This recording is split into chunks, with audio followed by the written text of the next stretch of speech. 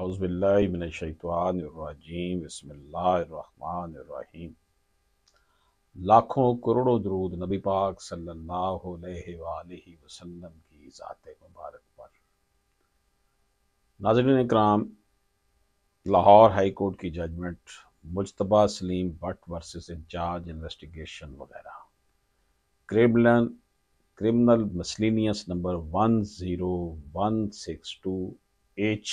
بٹا دو ہزار چوبیس۔ اسے نریٹ کیا گیا two zero two four L H C double seven one میں۔ ناظرین کرام، یہاں پر جو ہم ایک important proposition of law discuss کر رہے ہیں وہ ہے کہ twenty six point two one six چھبیس اشاریہ اکیس sub rule six Punjab police rules nineteen thirty four کے حوالے سے کہ اس کی ریکوائرمنٹ کیا ہے۔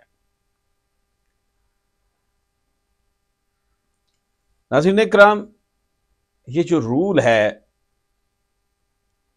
یہ اس وقت استعمال میں لایا جاتا ہے where an accused has already been released on bail for certain charges جب کسی ملزم کو ضمانت دے دی ہوتی، دے دی جاتی ہے، مخصوص اس پر جو الزامات ہوتے ہیں۔ اینی انٹینشن ٹو اریسٹ ایک for additional charge must be accompanied by an application for the cancellation of bail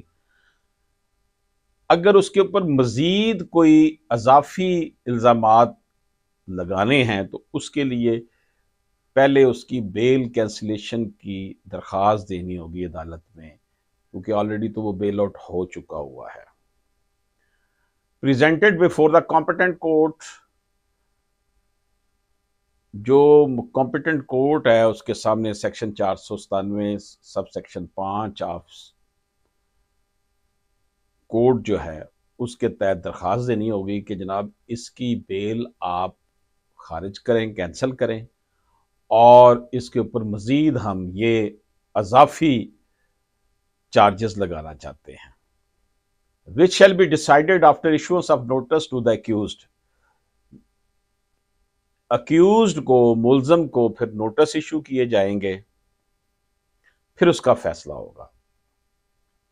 The legal position that emerged from the above discussion is that once an accused person has been granted bail, he cannot be arrested by the investigating agency without seeking cancellation of bail granted by the court of competent jurisdiction by way of filing an application under section 497 subsection 5 of the code.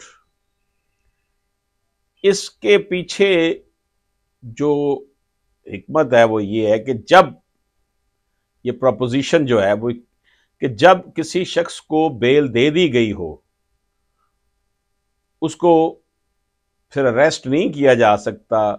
کہ جب تک اس کی چار سو ستانوے section sub section پانچ criminal procedure code کے تحت اس کی بیل کینسل نہ کروائی جائے۔ Police rule twenty six point two one into 6 of the rules mandate that any such action must be taken with explicit, explicit permission of the court, ensuring judicial oversight and safeguarding the rights of the accused. ایسا کوئی بھی قدم اگر police اٹھائے گی تو police role یہ کہتا ہے کہ یہ سب کچھ عدالت سے اجازت لینے کے بعد آپ اس کے اوپر مزید چارجز لگائیں گے جس ایف آئی آر میں وہ بیل آؤٹ ہو چکا ہے، اس کی وہ پہلے ایف آئی آر کینسل کروائیں گے۔ تو یہ ایک بڑی امپورٹنٹ ججمنٹ ہے، جس میں انسانی آزادیوں کے حوالے سے عدالتوں نے ایک چیک رکھا ہے پولیس کے اوپر انویسٹیگیشن ایجنسی کے اوپر۔ تو requirement of twenty six point two one rule of the Punjab police nineteen thirty four is that where an accused has already been released on bail for certain charges, any intention to arrest the accused for additional charges must be accompanied by an application for the cancellation of bail and rearrest should be with the permission of the court تو requirement کیا ہے جی چھبیس اشاریہ دو ایک چھ Punjab police rule nineteen thirty four کے کہ اگر کسی شخص کو ضمانت پر رہا کر دیا گیا کسی مخصوص الزامات میں اور اگر اس کو آپ دوبارہ ریسٹ کرنا چاہتے ہیں، اس کے اوپر کوئی نئے چارج لگائے گئے ہیں، تو پہلے آپ نے اس کی بیل کینسل کروانی ہے متعلقہ عدالت سے اور اس کی پرمیشن سے ہی عدالت کی پرمیشن سے ہی آپ اس کو دوبارہ اریسٹ کر سکتے ہیں۔ یعنی یہ نہیں ہے کہ سکھا شاہی کر دی جائے۔ عام طور پر سیاسی قیدیوں کے ساتھ ایسا ہی ہوتا ہے۔ پولیٹیکلی جو لوگ ہوتے ہیں، سیاسی لوگوں کو گرفتار اسی طرح کیا جاتا ہے۔ پولیس کو استعمال کیا جاتا ہے ایز اے انسٹرومنٹ تو اجازت دیجیے۔ اللہ حافظ۔